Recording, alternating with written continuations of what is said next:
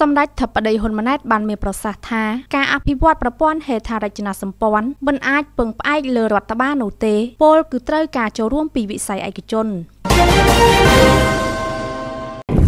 សម្ដេចមហាបវរធិបតីហ៊ុនម៉ាណែតនាយករដ្ឋមន្ត្រីកម្ពុជាបានអះអាង ថារយៈពេល10ខែនេះរាជរដ្ឋាភិបាលនីតិកាលថ្មីធានាបាននៅម៉ាក្រូសេដ្ឋកិច្ចខណៈដែលពិភពលោកស្ថិតនៅក្នុងភាពមិនច្បាស់លាស់ទោះបីថាសេដ្ឋកិច្ចកម្ពុជាមិនទាន់ដំណើរការល្អដូចមុនដំណាក់កាលកូវីដប៉ុន្តែរាជរដ្ឋាភិបាលដាក់ចេញវិធានការបន្តបន្ទាប់ដើម្បីដោះស្រាយបញ្ហានានាសម្ដេចថ្លែងបែបនេះធ្វើឡើងក្នុងឱកាសអញ្ជើញជាអធិបតីភាពក្នុងពិធីជួបសំណេះសំណាលនិងពិសាភោជនីយហាសាមគ្គីមហាគ្រួសារសហគ្រាសធុនតូចមធ្យមនិងសិប្បកម្មកម្ពុជាក្នុងឱកាសអបអរសាទរទិវាជាតិសហគ្រាសធុនមីក្រូតូចនិងមធ្យមលើកទី1ដែលរៀបចំដោយសមាគមមូលនិធិសម្ដេចតេជោនារសៀលថ្ងៃទី27ខែមិថុនាឆ្នាំ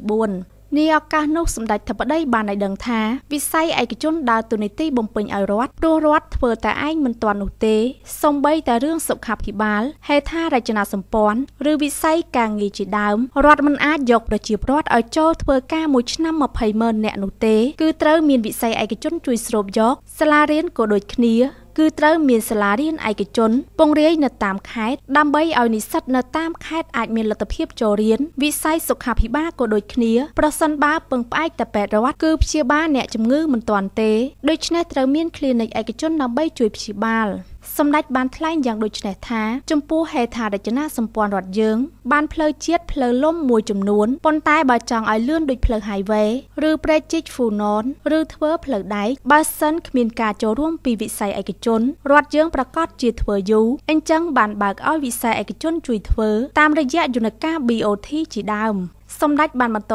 ថាគុណសម្បត្តិម្យ៉ាងទៀតនៃវិស័យឯកជន គឺធានាប្រសិទ្ធភាពនិងប្រសិទ្ធផលសម្ដេចធិបតីបានអះអាងថាមិនមែនរដ្ឋគ្មានសមត្ថភាពធ្វើបានល្អដោយឯកជននោះទេប៉ុន្តែភាគីរដ្ឋមានការងារជាច្រើនដែលត្រូវផ្ដល់សេវាកម្មជាច្រើនទើបប្រគល់ឲ្យភាគីឯកជនជួយធ្វើហើយរដ្ឋផ្ដោតលើគោលនយោបាយនិងការគ្រប់គ្រងផ្សេងៗសម្ដេចធិបតីនាយករដ្ឋមន្ត្រីបានបន្ថែមថាការផ្ដល់សិទ្ធិដល់វិស័យឯកជនជួយអនុវត្តកិច្ចការសុខាភិបាល ការងារអប់រំឬក៏ហេដ្ឋារចនាសម្ព័ន្ធទាំងនេះហើយគឺជាការអនុវត្តសេដ្ឋកិច្ចទីផ្សារសេរីដូចមានចែងនៅក្នុងរដ្ឋធម្មនុញ្ញនៃព្រះរាជាណាចក្រកម្ពុជា